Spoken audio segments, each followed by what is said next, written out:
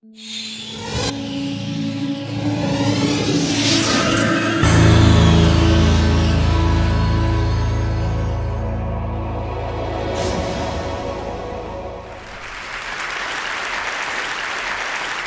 a great time to be a molecular biologist.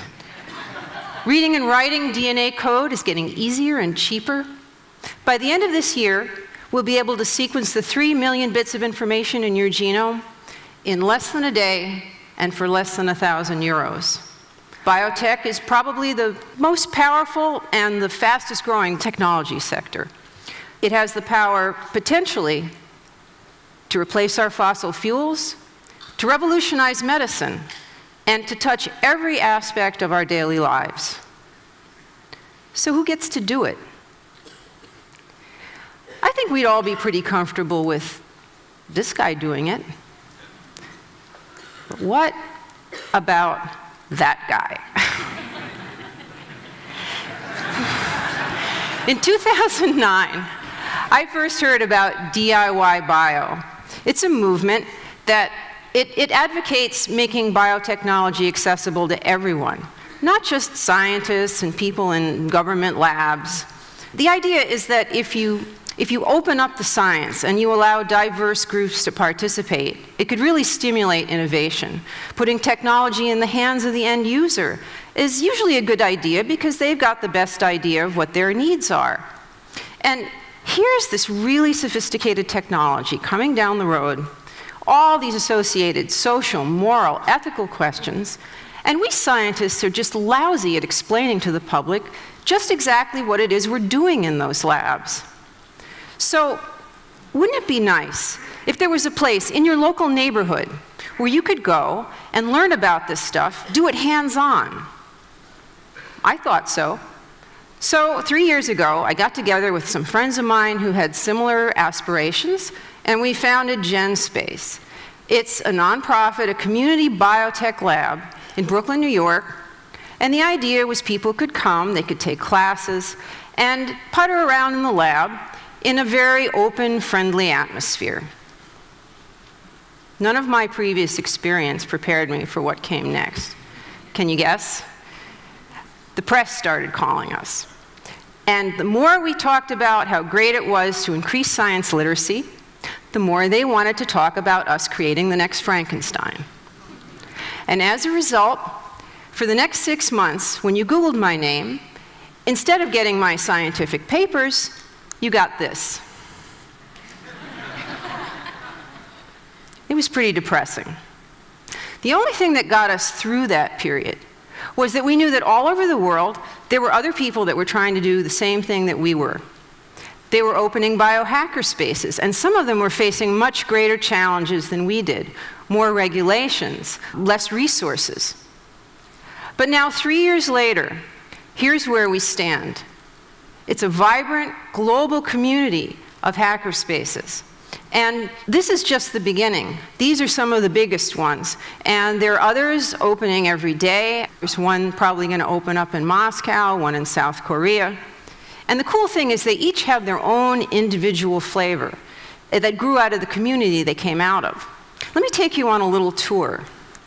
Biohackers Worth Alone. We work in groups, in big cities, and in small villages. We reverse engineer lab equipment. We genetically engineer bacteria. We hack hardware, software, wetware, and of course, the code of life. We like to build things, and we like to take things apart. We make things grow, we make things glow, and we make cells dance. The spirit of these labs, it's open, it's positive. But, you know, sometimes when people think of us, the first thing that comes to mind is biosafety, biosecurity, all the dark side stuff. I'm not going to minimize those concerns.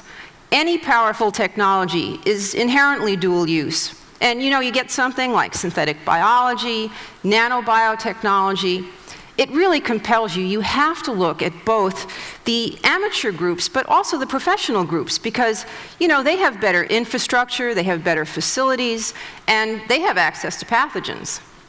So the United Nations did just that, and they recently issued a report on this whole area, and what they concluded was the power of this technology for positive was much greater than the risk for negative. And they even looked specifically at the DIY bio community. And they noted, not surprisingly, that the press had a tendency to consistently overestimate our capabilities and underestimate our ethics. As a matter of fact, DIY people from all over the world, America, Europe, got together last year, and we hammered out a common code of ethics. That's a lot more than conventional science has done. Now, we follow state and local regulations. We dispose of our waste properly, we follow safety procedures, we don't work with pathogens. You know, if you're working with a pathogen, you're not part of the biohacker community, you're part of the bioterrorist community, I'm sorry. And sometimes people ask me, well, what about an accident?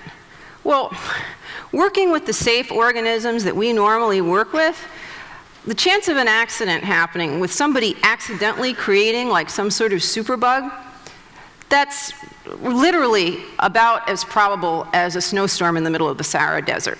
Now, could happen, but I'm not going to plan my life around it. I've actually chosen to take a different kind of risk. I signed up for something called the Personal Genome Project. It's a study at Harvard where at the end of the study, they're going to take my entire genomic sequence, all of my medical information, and my identity, and they're going to post it online for everyone to see. There were a lot of risks involved that they talked about during the informed consent portion. The one I like the best is someone could download my sequence, go back to the lab, synthesize some fake Ellen DNA, and plant it at a crime scene. But like DIY Bio, the positive outcomes and, and the potential for good for a study like that far outweighs the risk. Now, you might be asking yourself, well, you know, what would I do in a biolab? Well, wasn't that long ago we were asking, well, what would anyone do with a personal computer? So this stuff is just beginning. We're only seeing just the tip of the DNA iceberg. Let me show you what you could do right now. A biohacker in Germany, a journalist, wanted to know whose dog was leaving little presents on his street. Yep, you guessed it. He threw tennis balls to all the neighborhood dogs, analyzed the saliva, identified the dog, and confronted the dog owner.